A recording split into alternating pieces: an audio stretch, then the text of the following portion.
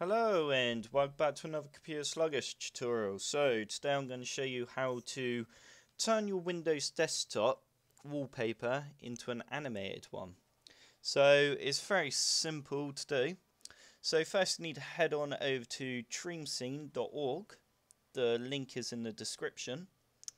And then we're going to, you've got two links here to download the program. So I'm just going to click on that link there and go download and I'll just download it from the EU.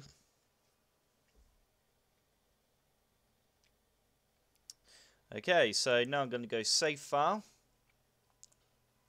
Okay, so once you've saved the file, we're going to open the zip file. Just close that. And we're just going to run the .exe. Okay, so once you've ran the .exe, we are going to go enable Dream Scene. Okay, so once you've enabled Dream Scene, you might have noticed your Windows just refreshed, so it might have flickered. That's absolutely fine. So now we're going to head on back over to dreamscene.org. Let's just move that down to the bottom right hand corner here.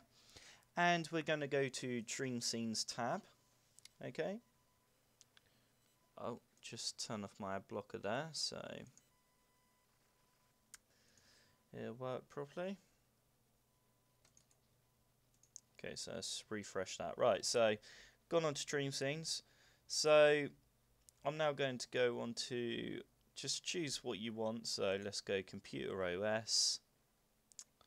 Okay, and I'll go with the Left 4 Dead 2 fan art. So I'm going to go download and download again and I'm now going to go save file okay so it's just saving up here as you can see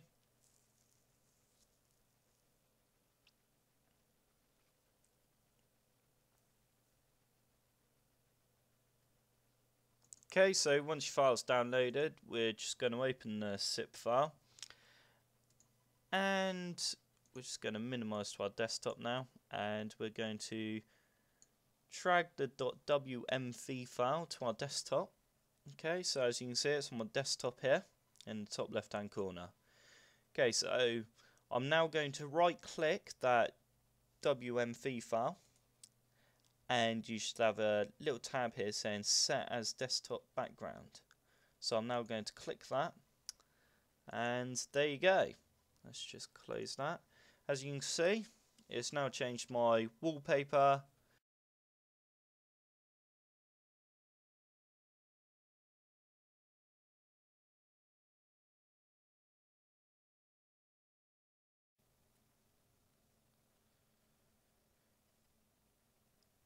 And there you go.